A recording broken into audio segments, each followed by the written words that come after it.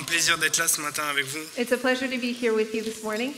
La dernière fois que j'ai pu apporter la parole, euh, c'était euh, au mois de mai. Last time I shared the word of God with you was in the month of May, Donc euh, ça, ça remonte. so it's been a while. Mais euh, avant d'aller plus loin, je voulais vraiment remercier euh, toutes les personnes qui ont participé à la friperie. But before I go any further, I want, really want to thank you for those of you who Yeah. participated in the social event yesterday. Le pasteur Jean-Pierre l'a déjà fait, mais vous m'avez vraiment béni hier. You really blessed me. En fait, euh, en préparant mon message hier, As I was preparing my message yesterday, euh, le matin, j'ai pas pris une très très bonne nouvelle. uh, in the morning I kind of had bad news.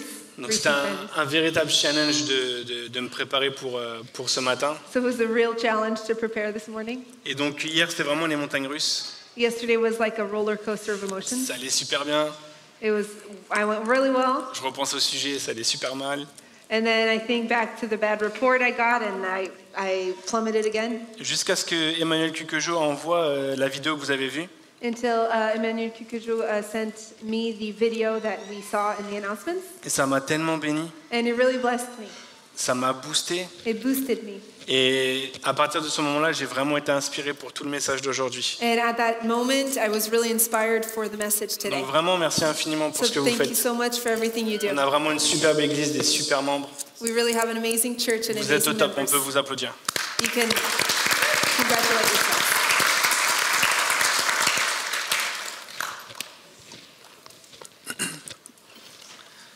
Waouh, ok. Ça va être un petit challenge, Pasteur Jean-Pierre. Euh,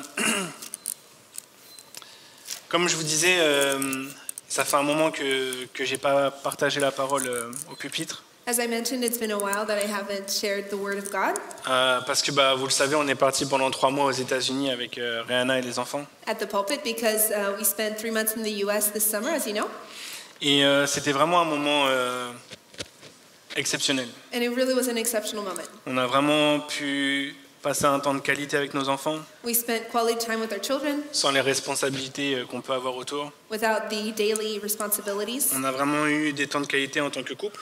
We had quality time as a couple On a eu des temps de qualité aussi en tant qu'individu. and as individuals as well. Et euh, on a aussi Julien et Victoria qui, qui nous ont rejoints pendant- pour trois semaines. Jillian and Victoria were also there for three weeks. On a vraiment pu, euh, bien qu'on se connaissait déjà, euh, j'ai un chat dans la gorge qui veut pas partir. Bien qu'on se connaissait déjà, on est, on est vraiment rentré dans une intimité.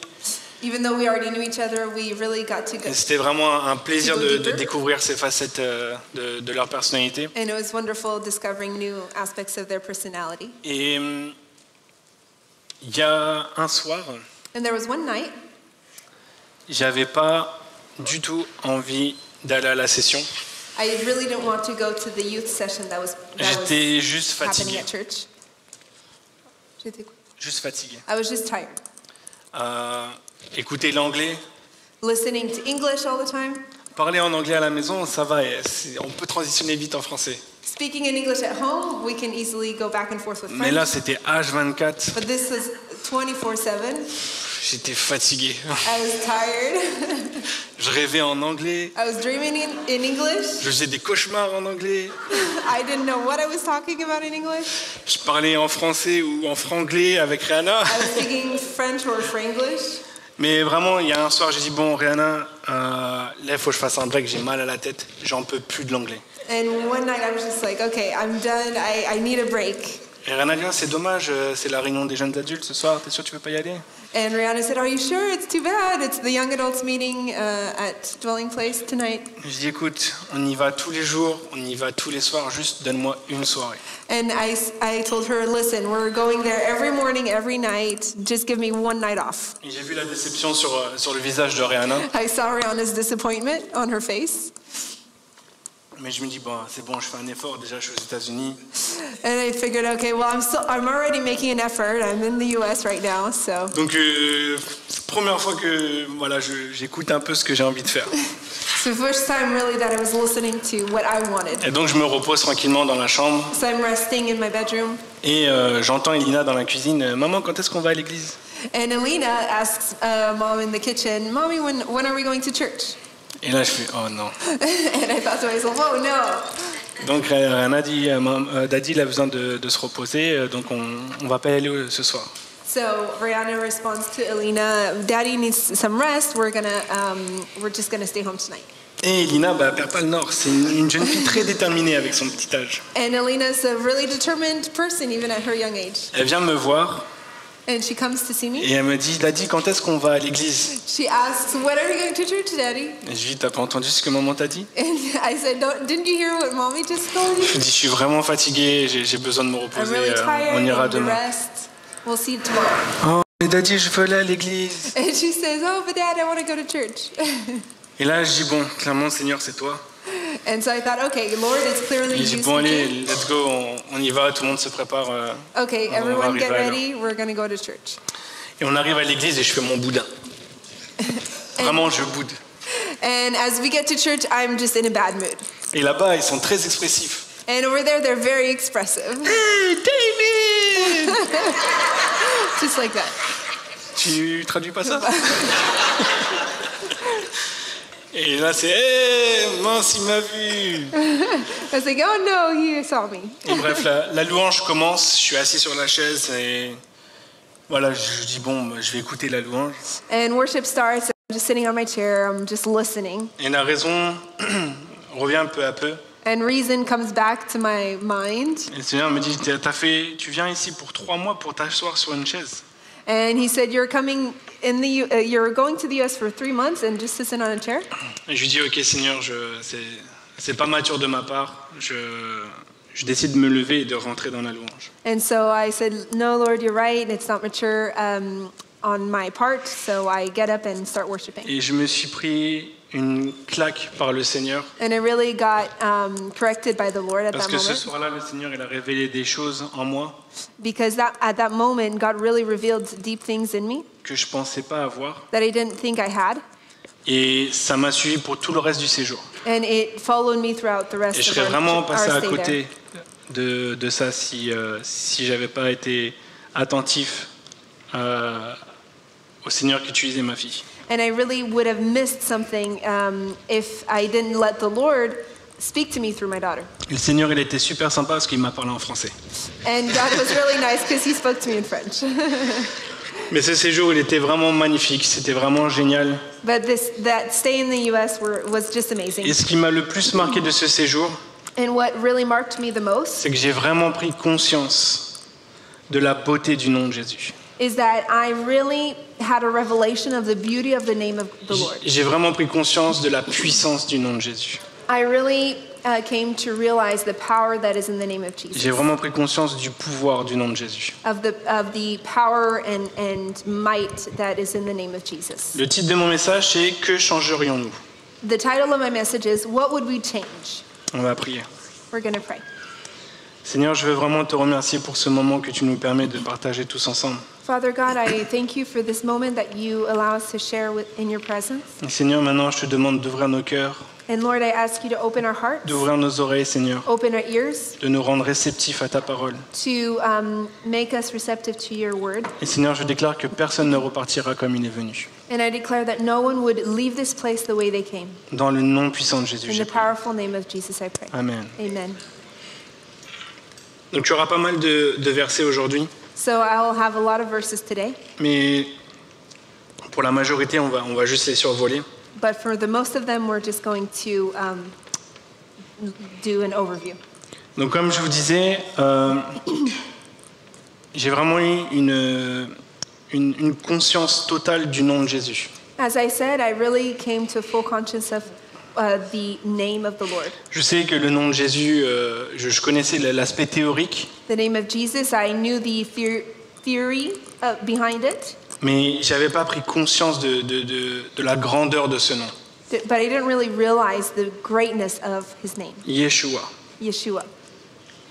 Yeshua, c'est composé de deux mots. Yeshua is comprised of two words. Donc il y a l'abréviation de Yahvé, So there's the um, abbreviation of the word Yahweh, qui est le nom personnel de Dieu, that is the personal name of et God, Shua qui est sauvé. and Shua, which means save. Et en combinant les deux, Yeshua exprime la notion que Dieu apporte le salut, Dieu sauve. And the combination of the two words into Yeshua means that uh, God is the one who saves, who brings salvation. Et je trouve ce mot mais tellement beau, Yeshua. And I, I find this name beautiful, Yeshua. Yeshua. Yeshua. Fermez les yeux quelques instants Let's just close our eyes for a second et juste entendez ce mot, Yeshua. and just hear this word, Yeshua. Merci Seigneur pour ce nom, Thank you Yeshua. for this beautiful name. Amen Seigneur. Amen. Avons-nous oublié le nom de Jésus? Have we forgotten the name of Jesus? Avons-nous oublié ce que ce nom que, que ce nom est au-dessus de tout nom? Have we forgotten that this name is above every other name? Avons-nous oublié que ce nom sauve? Have we forgotten that this name saves?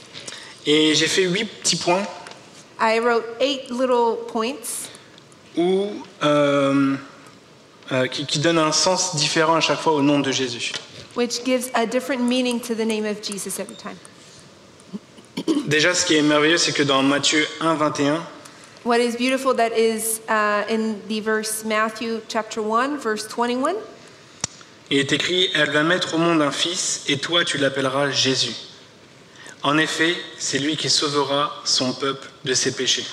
So that was Matthew chapter 1, verse 21. Please follow along in your English Bibles. Donc ce nom, c'est vraiment Dieu qui l'a donné. So that is really the name that the Lord gave. Et C'est très beau, c'est un petit peu comme, euh, comme Lévi.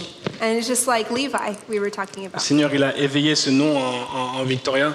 God uh, really uh, inspired that name in Victoria's heart. Et je crois qu'il y a vraiment quelque chose de particulier dans, dans- dans les prénoms. And I really think that there's something special in names. Le nom de Jésus apporte le salut. The name of Jesus brings salvation. Dans Acte 4, 12, il est écrit Il n'y a sous le ciel aucun autre nom donné parmi les hommes par lequel nous devions être sauvés. That was Acts chapter 4, verse 12. Le nom de Jésus est le seul moyen d'avoir cette réconciliation avec Dieu The name of Jesus is the only way we can be reconciled with the Father et de pouvoir avoir cette vie éternelle. and to have that eternal life. Deuxième point, le nom de Jésus a autorité sur tout. Secondly, the name of Jesus has authority over everything. Dans Philippiens 2, de 9 à 11, In Philippians uh, chapter 2, verses 9 to 11. donc normalement, ouais, vous avez tout. C'est pourquoi aussi Dieu l'a souverainement élevé, il lui a donné le nom qui est au-dessus de tout nom, afin qu'au nom de Jésus, tout genou, tout genou fléchisse dans les cieux, sur la terre et sous la terre, et que toute langue confesse que Jésus-Christ est Seigneur, à la gloire de Dieu le Père. Jésus a autorité sur tout, sur tous les royaumes. Le nom de Jésus a autorité sur le, le royaume céleste, terrestre et spirituel. The name of Jesus has authority over every kingdom, over the heavenly kingdom and the kingdom on earth. Le nom de Jésus chasse les démons. The name of Jesus chases demons. Dans Luc 10, 17, We're going to read Luke chapter 10, verse 17. Seigneur, les démons même nous sont soumis en ton nom. Même les disciples, ils ont compris ça, qu'avec le nom de Jésus, ils pouvaient chasser des démons. Even the disciples, they knew that with the name of Jesus alone, Parce they could qu'avec le nom de Jésus, Because with the name of Jesus, nous pouvons dominer sur les, les- les- les forces du mal. we can dominate on the evil forces of the world. Le nom de Jésus guérit les malades. The name of Jesus heals sickness. Acte 3, 6. We'll read chapter Acts chapter 3 verse 6. Pierre dit, je n'ai ni argent ni or, mais ce que j'ai, je te le donne. Au nom de Jésus-Christ de Nazareth, lève-toi et marche. Avec le nom de Jésus, on peut opérer des guérisons miraculeuses. With the name of Jesus, we can uh, heal the sick.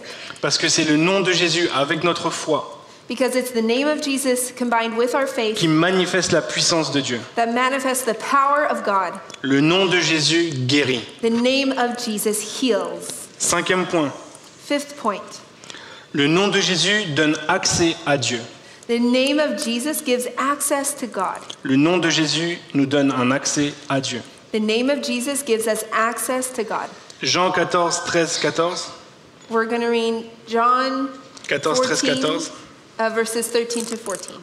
En tout ce que vous demandez en mon nom, je le ferai, afin que le Père soit glorifié dans le Fils. vous me demanderez quelque chose en mon nom et je le ferai. Lorsqu'on prie au nom de Jésus, on se rapproche du Père avec confiance. When we pray in the name of Jesus, we get closer to the Lord with confidence. Et avec foi, on croit que Dieu le Père entend nos prières And with faith, we believe that God the Father hears our prayers et qu'il exaucera selon sa volonté. and that He will accomplish uh, His will. Et je précise bien selon sa volonté. And I do, I, I do specify according to His will. Des fois, on a tendance à un petit peu modifier ce, ce verset Sometimes notre we have a avantage. tendency to modify that verse to our advantage. Ah, Seigneur, j'ai pris en ton nom, tu as dit que tu le ferais, pourquoi tu le fais pas? Uh, we think, oh, well, God, I prayed in your name and nothing happened. N'oublions pas, exaucer selon sa volonté. But He answers our prayers according to His perfect will. Sixième point. Sixth point. Ça va, on va pas trop vite? We're not going too fast. You're with me? Ok. Le nom de Jésus donne la victoire sur le péché. The name of Jesus gives power over sin. 1 Corinthiens 6, 11. 1 Corinthians chapter 6 verse 11. Mais vous avez été lavés, vous avez été sanctifiés, vous avez été justifiés au nom du Seigneur Jésus et par l'Esprit de notre Dieu. Le nom de Jésus purifie et nous donne la force pour qu'on puisse vaincre le péché. The name of Jesus purifies us and gives us power to vanquish any sin. Avec le nom de Jésus, il n'y a aucun péché qui est trop difficile. With the name of Jesus, no sin is too great. Avec le nom de Jésus, il n'y a rien qui est trop dur pour ne pas euh, résister. With the name of Jesus, there's nothing too hard to resist. Septième point, le nom de Jésus inspire la foi et l'espérance. Seventh point the name of Jesus inspires hope and confidence. Jean 20, 31. John chapter 20, verses 31. Mais ces choses ont été écrites afin que vous croyiez que Jésus est le Christ, le Fils de Dieu, et qu'en croyant, vous avez la vie en son nom. Le nom de Jésus est une source d'espérance pour tous ceux qui croient en lui, The name of Jesus is a source of hope for anyone who believes in him. parce que le nom de Jésus inspire la foi Because the name of Jesus inspires faith et l'espérance. and hope. Et le dernier point, And last point, le nom de Jésus révèle la présence de Dieu. the name of Jesus reveals the presence of God. Matthieu 10, 20. Matthew chapter 10, verse 20. Matthieu 10, 20, car là où deux ou trois sont rassemblés en mon nom, je suis au milieu d'eux. Invoquer le nom de Jésus, c'est appeler sa, sa présence, c'est inviter sa présence Invoking the name of Jesus is inviting and welcoming his presence au milieu de nous, car il est vivant. in our midst because he is alive. Amen. Amen.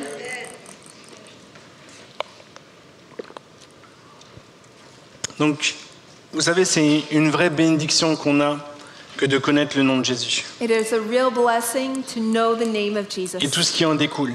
and everything that contains it. Et c'est vrai qu'on rentre dans notre vie, dans notre train-train quotidien, It's true that in our daily routine, et il y a des moments où on a tendance à oublier la beauté de ce nom, we have a tendency to forget the beauty that is in the name of Jesus. Jésus.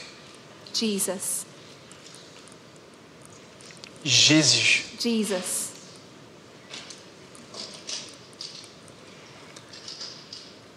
La semaine dernière, on était à cette, euh, cette conférence Last week we were at the Tennessee conference. et il y a, il y a un pasteur qui, qui- qui était en train de, de prêcher. One of the pastors preaching. Et en fait, c'est un missionnaire qui, qui est en Afrique du Sud. He's a missionary that works all over Africa. Oui, partout dans l'Afrique, pas, pas que en Afrique du Sud, merci.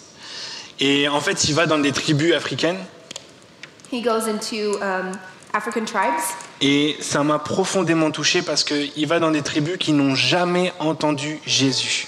and he goes into tribes, un- unreached people groups, which is people Et- that have never heard the name of Jesus J'ai eu une erreur 404. J'ai quoi? Comment c'est possible? And that just astounded me. How is that possible?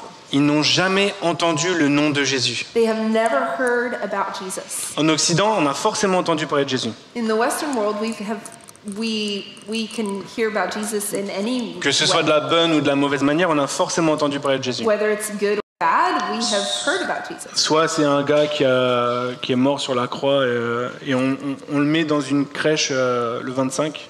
Uh, it could be maybe this random guy on a cross or a little baby in a manger. Et il nous permet euh, euh, d'avoir les dates avant Jésus-Christ, après Jésus-Christ, And that's how we know history, the dates b- before Christ, after Christ. ou soit c'est ton sauveur personnel, Or ton Seigneur, is your personal Savior, celui qui te donne la vie, the one who gives celui qui te donne cette garantie que tu vas aller au paradis, the one who gives you celui the qui te donne un sens à ta vie, you're going to heaven, that gives you meaning and purpose, celui qui te donne une destinée. the one who gives you a destiny.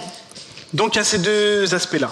So there's those two aspects. Mais lui, il va dans des endroits où on n'a jamais entendu parler de Jésus. And he goes into places where no one has ever heard about God or Jesus. Ça m'a tellement touché. It really touched me. Et plus de 3000 personnes ont donné euh, leur, leur vie à travers son- son- l'é- l'évangile qu'il donne. More than 3,000 people received Christ through his mission work. Avons-nous oublié la beauté du nom de Jésus? Avons-nous pris conscience de cette chance qu'on a d'avoir, de, de connaître le nom de Jésus? Do we realize the, the, the blessing and honor it is to know the name of Jesus? Est-ce que la vie qu'on mène aujourd'hui, The life that we lead today, elle est à la, to- à la hauteur de notre Seigneur is it, um, is it the one that the Lord deserves from us? Est-ce que la vie qu'on mène aujourd'hui It, does the life that we lead today, est à la hauteur de ce qu'il a fait pour nous is it what his sacrifice on the cross deserves from us? Je vous ai dit, le titre de mon message, c'est Que changerions-nous? I told you the title of my message is What Would We Change?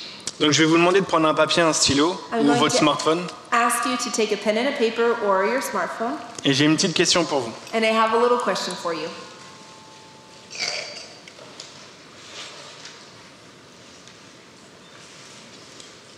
Donc aujourd'hui, on est le dimanche 17 novembre. Today we're Sunday, November 27th, uh, 17th, Et j'ai une grosse nouvelle à vous annoncer. and I have big news for you J'ai appris I que learned après la brèche, that after the Bresh, our prayer meeting, il va y avoir des choses qui vont se passer. there are going to be things that will happen, Et entre 17h et 18h, and between 5 and 6 aujourd'hui, hein, aujourd'hui, entre 17h et 18h, between 5 and 6 p.m., Jésus y revient. Jesus is coming back. Aujourd'hui, entre 17h et 18h, Jésus revient. Today, between 5 and 6 p.m. Donc j'ai une question, So I have a question for you, qui est le titre de message. which is the title of my Que message. changerions-nous? What will we change? si on savait que Jésus arrivait aujourd'hui entre 17h et 18h If we knew that the Lord was coming back between 5 and 6 today. Donc je vous laisse quelques minutes pour euh, écrire. On va, on va prendre 60 secondes pour écrire les choses que vous changeriez. So I'm going to let you, give you one minute to write down on your piece of paper what Parce que would vous savez que? Jésus revient aujourd'hui entre 17h et 18h. If you knew that Jesus was coming back today between 5 and 6 p.m. Donc allez-y. So go ahead. Notez les choses que vous changeriez. on your paper or phone.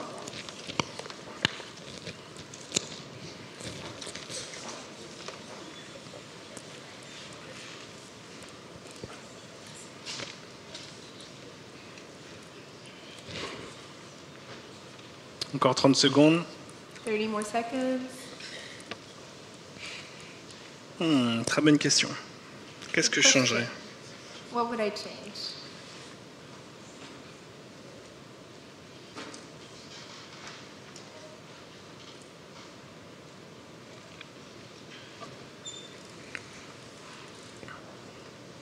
Ok, c'est bon pour tout le monde?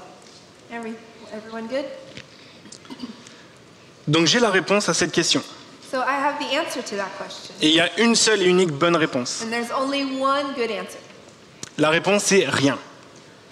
The answer is nothing. Qu'est-ce que je changerais? Rien. what would I change? Nothing. Si vous avez écrit... euh, alors, si vous avez pris des résolutions, If you have taken good resolutions, donc bougez pas trop, ok? don't move. Parce que là il y a un vrai problème. There's a real problem. Si vous avez pris des résolutions parce que vous savez que Jésus revient aujourd'hui entre 17h et 18h, il y a un problème.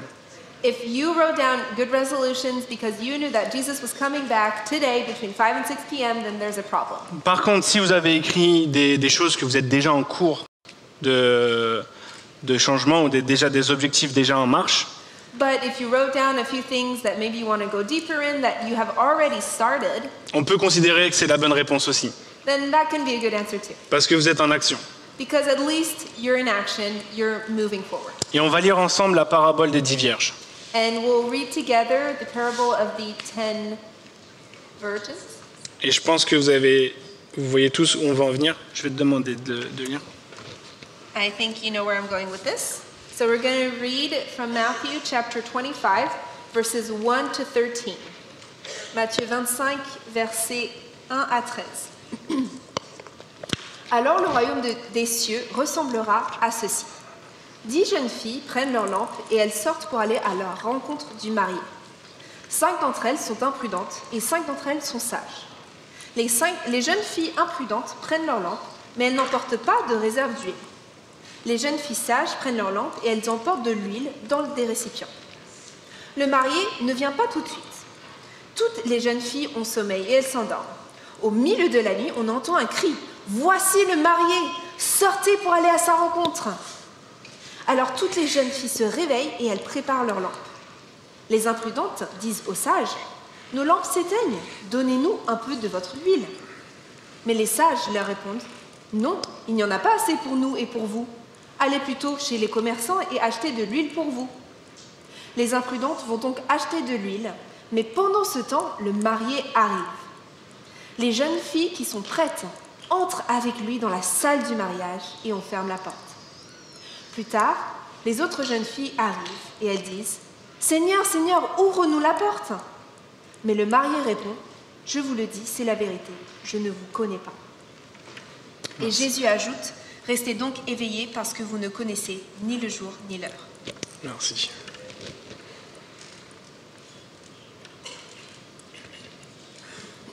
C'est juste incroyable la parole qu'on a reçue ce matin euh, à travers Pasteur Catherine. It's amazing the word we received from the Lord through Pastor Catherine this morning.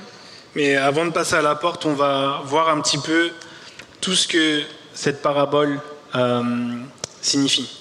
But before we get to the door, we're going to look at what this parable really means. Donc c'est des choses que vous savez probablement, It's things that you may already know, mais je pense que c'est un bon rappel pour nous. but it's a good reminder for all of us. Donc l'époux, il s'agit de, de qui? Who is the bridegroom? L'époux représente Jésus-Christ, The bridegroom represents Jesus, qui reviendra pour chercher son Église. who will come back to get his church, his bride. Ensuite, on a les vierges sages Then we have the uh, foolish virgins, et les vierges folles. uh, sorry, the wise virgins and the foolish virgins. Les vierges sages symbolisent les croyants The wise virgins represent believers qui vivent dans la vigilance, who live um, in an alert way, qui se préparent chaque jour who prepare themselves every day pour le retour de l'époux. for the return of their bridegroom. Donc tous ceux qui ont mis rien, So, all of you who have written nothing on your piece of paper, vous êtes des vierges sages. then you are a wise virgin. Les vierges folles, elles, représentent les croyants qui ne persévèrent plus, The foolish virgins represent believers who don't persevere, qui ont perdu leur foi sur le retour de Jésus, who have lost their faith in the return of qui Christ. se disent il reviendra un jour, mais je ne sais pas quand, Those who say, okay, well, he'll come back one day, et but qui don't vivent know. leur petite vie. And who live their little life. Et chaque 1er euh, janvier 2000 euh, X, ils prennent une, euh, une résolution. And every first January of every new year, they take good resolutions. Ou alors le dimanche 17 novembre, parce que on leur a posé la question qu'est-ce que tu changerais si Jésus revenait entre 18h, 17h et 18h euh, Ils prennent une résolution. Or maybe on a Sunday, November 17th, because they were told that Jesus would come back that day from 5 to 6. Then Donc they je- made good resolutions. Je regarde personne, mais ces personnes sont les vierges folles. I'm not looking at anyone, but those people represent the foolish virgins. On a les lampes et l'huile. We have the lamps and the oil. Les lampes, elles représentent la foi. Cette flamme qu'il y a dans la lampe représente la foi. Lamps, the lamps here represent faith. Et l'huile, euh, à l'intérieur, peut être représentée comme euh, notre relation avec le Saint-Esprit. And the oil that we feed into the lamp can Not- represent our relationship with Christ, Notre intimité avec le Seigneur. our intimacy with Jesus, Notre persévérance. our perseverance, La foi. our faith. Et ce qui est intéressant avec l'huile, c'est que l'huile ne peut pas être partagée. And what's interesting with oil is that it cannot be shared. Parce qu'elle est personnelle à chaque chrétien. because it's personal to every Christian. Chaque chrétien doit cultiver sa propre huile. Every Christian needs to cultivate their own oil. Et on a le retard de l'époux.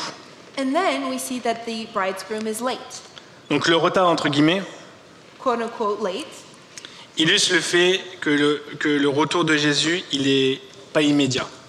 and that just serves to illustrate that the return of Christ is not immediate, Mais par contre, il exige que chaque disciple, chaque enfant, but it requires that every disciple, every child of God, reste prêt en tout temps. stays ready anytime. Depuis que j'ai 15 ans, Since I'm 15 years old, j'ai la voix du pasteur Sam dans ma tête. I have the voice of Pastor Samuel in my head. Il faut toujours être prêt. You always have to be ready. Il faut toujours être prêt. You always have to be ready. Et je me rappelle un jour, on, a, on faisait JBB, on était dans les leaders JBB. And I remember we were uh, leaders at the time in our youth group. On allait avoir une, euh, euh, notre, notre, notre rencontre. We were a few hours away from the meeting. Et pasteur Sam devait prêcher. Pastor Sam was scheduled to preach, Et il était bloqué sur le périph. and he was blocked on the uh, highway.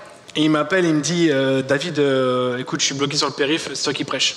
And he called me up and he said, David, listen, I'm blocked on the highway. You need to be the one to take the message. Et sa petite voix qui revenue toujours être prêt. and I heard his voice play back in my mind. Et ces jours-là, j'avais pas assez d'huile dans ma lampe. And that day, I did not have enough oil in my lamp.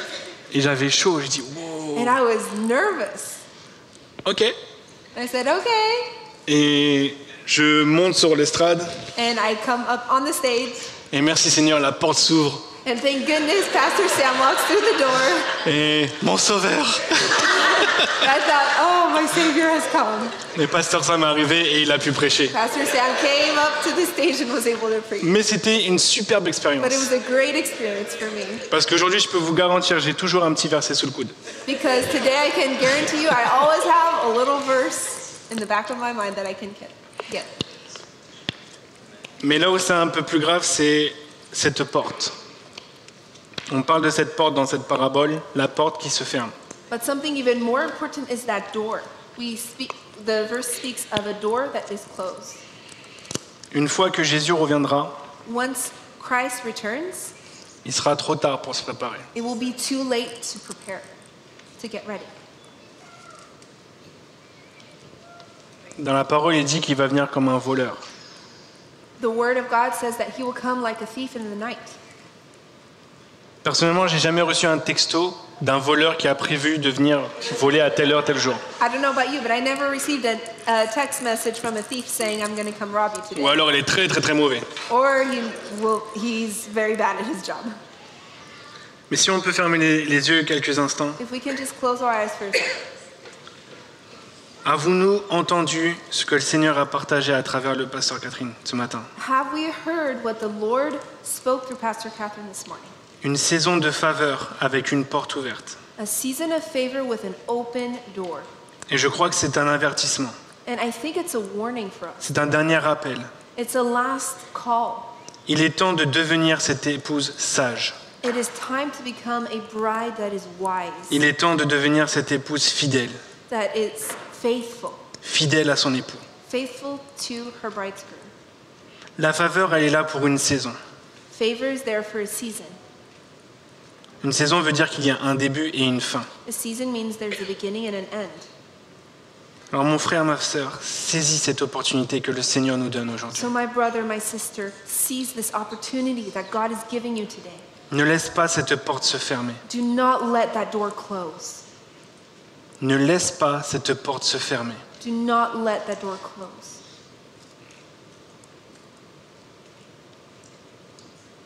Alléluia, Seigneur. Quel personnage es-tu dans cette histoire? What person are you in this story? Vous pouvez ouvrir les yeux si vous le souhaitez. Quel personnage es-tu dans cette histoire? What person are you in this story? Dans cette question, il n'y a aucune condamnation. In this question, there's no condemnation. Il n'y a aucun intérêt de prêcher pour condamner les gens. There's no point to preach to condemn people. Notre mission, c'est de donner de l'espoir. Our mission is to give hope. Notre mission, c'est de réveiller. Our mission is to wake Notre mission, c'est d'avertir. avant qu'il soit trop tard. before it's too late. Quel personnage es-tu dans cette histoire? What person are you in this story? Qu'on ne soit plus ces chrétiens endormis, Let's not be those sleepy Christians anymore. qu'on soit ces- qu'on- que, que l'on soit ces chrétiens qui ont conscience que Jésus reviendra un jour. Let's be those Christians who are aware of the fact that God is com- Jesus is coming back someday. Ne soyons pas ces chrétiens qui ont oublié le sacrifice qu'il a fait pour nous. Let's not be those Christians who forget the sacrifice of Jesus, Ces chrétiens qui ont oublié la beauté, la puissance et l'autorité qu'il y a dans le nom de Jésus. authority that is in the name of Jesus.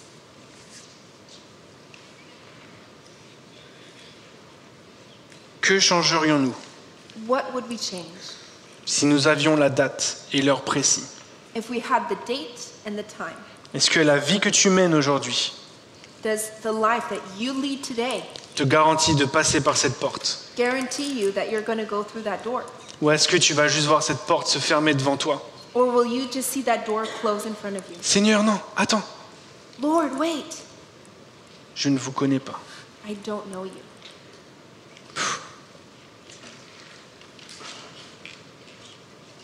Mais Seigneur, je t'ai servi tous les dimanches, j'ai fait tout ça.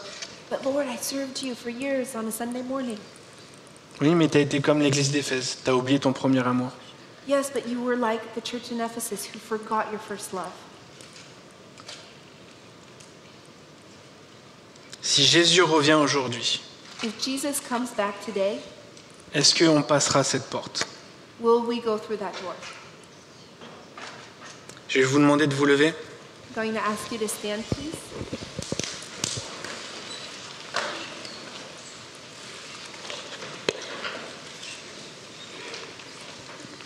Et si le groupe de louanges peut se préparer.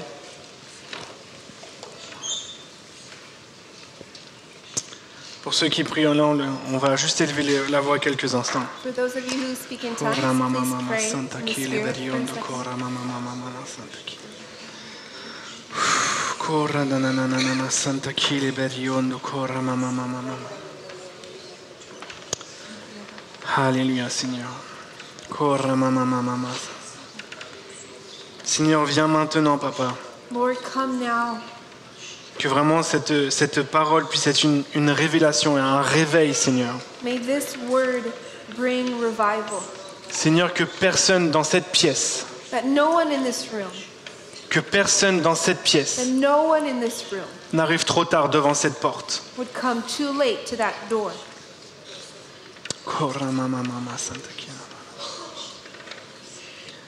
Soyons cette église qui se prépare, Let's be that church who is ready, une église qui cherche à refléter l'image de Christ. a church that seeks to reflect the image of Christ. Vous savez, on a des réunions avec l'équipe pastorale You know, we have pastoral meetings et every il ne s'agit pas de faire l'église que, que nous, on souhaite faire. It's not about making this church what we want it to be. Il ne s'agit pas d'avoir une belle église avec une belle façade. It doesn't mean making this church a pretty church with a pretty facade. Certes, on va faire des travaux, on va faire des choses pour que ce soit plus esthétique. Of course, we're going to do some work to make this place more comfortable, Mais ça, c'est un détail. but that's a detail. Ce que l'on veut, c'est que la mission du Seigneur s'accomplisse. What we want is for the mission of the Lord to be accomplished. Il ne s'agit pas de nos ministères, It, it's not about our ministries. il ne s'agit pas de s'accomplir, It's not about accomplishing il ne ourselves. s'agit pas d'avoir la gloire, les, les- les projecteurs sur nous, It's not about having projectors on us. de taper sur l'épaule, ah t'es un bon gars, c'est bien ce que t'as fait. Oh. Il s'agit de Jésus et Jésus seul. It's all about Jesus and Him alone. Il s'agit de Jésus et Jésus seul. It's all about Jesus and Jesus alone. Nous devons chercher dans notre vie We need to look in our lives l'accomplissement de son œuvre parfaite the accomplishment of His perfect will et non la nôtre. and not ours. Alors si on a des petits bobos, So if we get hurt, uh, little hurts along the dis way, merci Seigneur, then just thank the Lord parce que demain je serai une personne plus forte because tomorrow will be a stronger person pour accomplir ta volonté. to accomplish your will, God. Parce que tout ce qui m'importe, c'est ta volonté, Because Seigneur. C'est ta volonté et rien d'autre, Seigneur. doing your will and nothing else. Parce que je veux traverser cette porte avec toi. Je veux te servir. Je veux t'aimer d'un cœur sincère.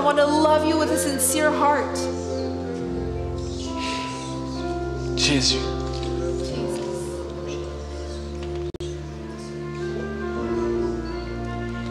Nous ne sommes pas cherchés, nous sommes pas appelés à chercher la perfection. We're not called to seek perfection. Nous sommes appelés à attirer la gloire et l'onction de Dieu. We're called to draw the anointing and glory of God.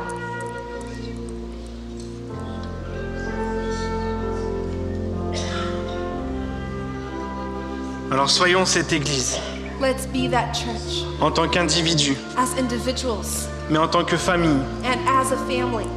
Préparons-nous activement Let's prepare ourselves in, in en refusant que notre Église refusing that our church soit comme l'Église d'Éphèse, be like the church of Ephesus qui a oublié son premier amour. that forgot their first love.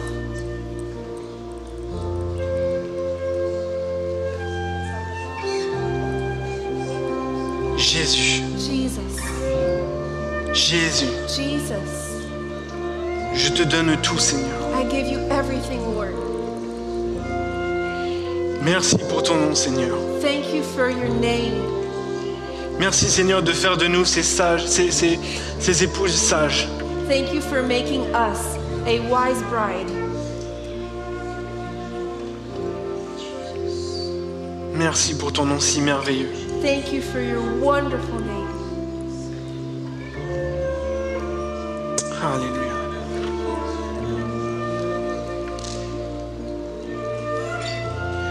Rappelons-nous l'importance de cultiver, de maintenir notre relation avec notre premier amour, de cultiver notre passion pour Christ. Rappelons-nous de la puissance du nom de Jésus. Let's remember the power of the name of Jesus. Cultivons sa présence quotidiennement. Let's cultivate His presence every day, Cultivons sa parole quotidiennement. His word every day. Soyons dans l'unité Let's be in unity en tant que corps de Christ. as the body of Christ. Fermons la porte à toute tentation, Let's close the door to any car temptation avec le nom de Jésus, because with the name of Jesus, rien n'est impossible. nothing is impossible. Et j'ai une bonne nouvelle à vous annoncer. And I have good news for you. Jésus revient. Jesus is coming back. Jésus revient. Jesus is coming back. Jésus revient certainement. He is coming back. Et il n'est pas en retard. He is not late. Jésus revient. Jesus is coming back.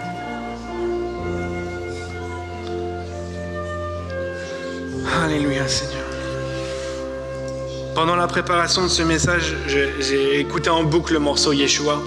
As I was preparing my message, I was listening constantly to the song Yeshua. Donc j'ai demandé à l'équipe de louanges de, de chanter ce chant. I asked the worship team to, to sing it, Et je vais demander à l'équipe de, de prière de s'approcher. and I'm going to ask the pr- prayer team if you can please come up.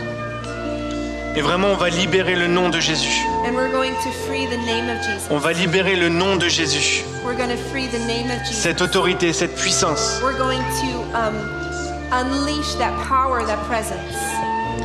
Pour quelle raison vous vous approcherez? Why would you come forward? Pour le salut, For salvation, number one. pour vous repentir, To repent. pour être libéré, To be free. pour être guéri. To be healed. Parce que le nom de Jésus Because the name of Jesus peut vous libérer, can free you, peut vous guérir, can heal you, peut vous pardonner can forgive you, et vous donner le salut. and give you salvation. Et vous permettre de passer par cette porte And, and give you access to go through that door avant qu'elle ne se ferme. before it closes. Vous pouvez vous approcher. You can come forward.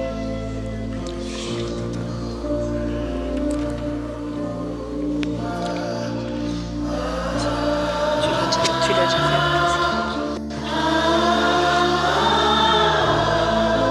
fait. Élevons son nom.